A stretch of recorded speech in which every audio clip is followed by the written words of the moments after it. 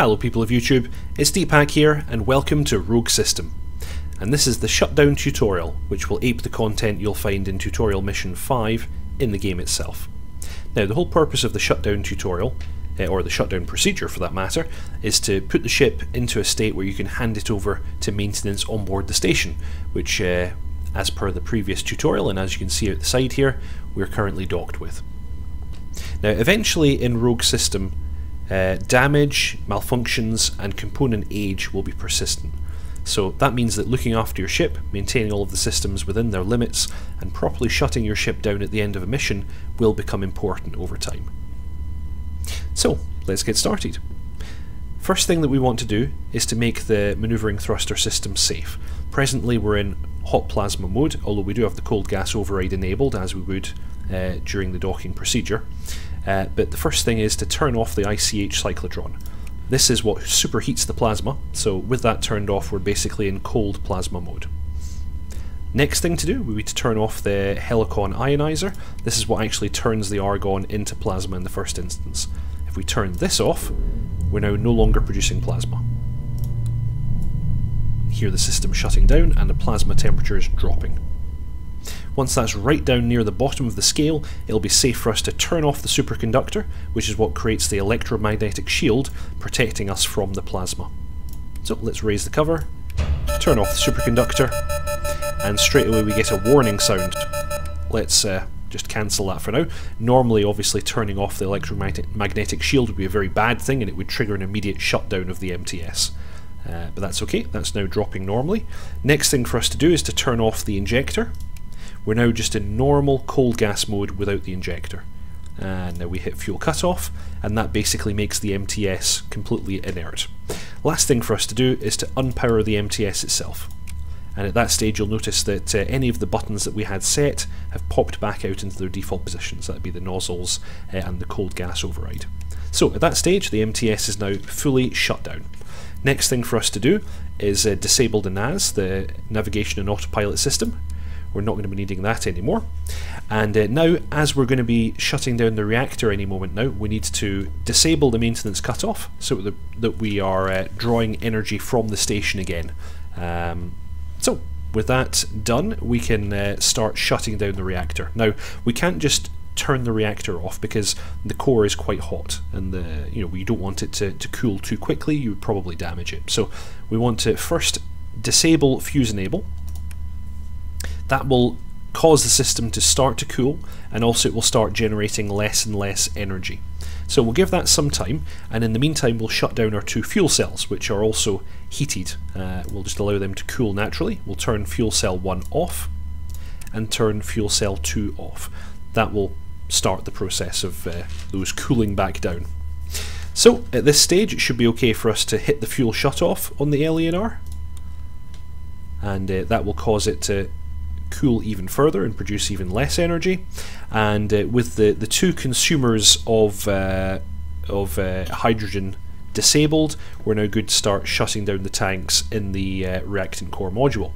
So all we have to do is for each tank in turn, turn off the shut-off valve, turn off the tank pump, we'll do the same for tank 2, tank 3, and tank 4. And with all of the uh, reactant uh, core tanks turned off, we can then turn off the reactant core module entirely and silence the alarm that gets triggered. The, the reactant core obviously normally is something that you need active all the time, so it triggers a little alarm when it's not running. Okay, so at this stage we should find that the, uh, the core has cooled out with its normal operating range, so it's now safe for us to disable the preheat on the core, and we'll find that uh, the core temperature is now dropping even quicker. Okay, so at this stage we're producing just about no energy from the LENR anyway, so we'll switch to the main bus and we'll turn it off. Next, we're going to disable the viewport monitor system by using the hard mounted display. So we bring up the displays page, click on VMS, and click system power. And we're plunged into darkness, we've no longer got our view of the outside world. Okay, so next thing for us to do is to turn off battery number 2 switch to battery number two. We're going to disable recharge. Then we're going to turn the battery off. Now, if we go to the LENR, we should find that core temperature has dropped right down to the end of the scale. So it's now safe uh, for us to disable LENR power, and we'll find that the electromagnetic shielding for the LENR is uh, now powering down. Once we're happy that that's uh, dropping, we can actually turn off the MES system entirely. Well, guess it's not MES system, it's main engine system. so, with the reactor turned off, we no longer need any contact with space traffic control, so we can turn off the comms transmitter and turn off the comms uh, panel entirely. Okay, with that done, we now turn to the temperature management system. We're going to drain all of the fluid out of both loops. We can do this by pressing the loop depressurize button. You should then find that uh, coolant level and coolant pressure drop. Once they've dropped all the way down to zero, the pump power will automatically turn off. So we're just going to wait and make sure that that happens for TMS loop 1.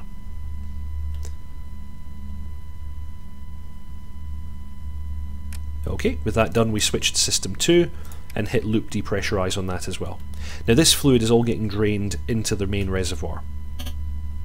Maintenance will uh, replace the fluid in there uh, during normal maintenance.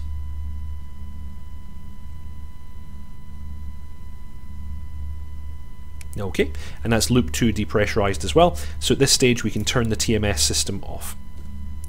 And uh, if we switch to the secondary bus, that can now be turned off as well. Okay, we'll now switch to battery 1, turn its recharge off, and turn it off. It's safe for us to do this because we have the maintenance cut off disabled, so we're actually still drawing power from the station even with, uh, even with uh, both batteries turned off.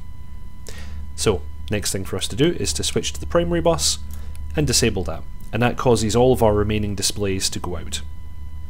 And at this stage we can now turn the maintenance cut off back on. We're now not drawing power from the station anymore, and we'll turn off the instrument backlighting turn back on the cabin floodlights so we can uh, see what we're doing when we step out of the seat, and unsafe our pilot's seat. Okay, now if we press the R key, we'll step up and out of the seat. And let's go ahead and open the hatch out of the cockpit. And if we make our way back out into the corridor here, cabin lighting will automatically come on, although it's in its low power emergency mode, and if we make our way up this ladder, we'd be able to exit the ship and into the station. And that concludes the shutdown procedure. I hope you all enjoyed that. I'll see you next time.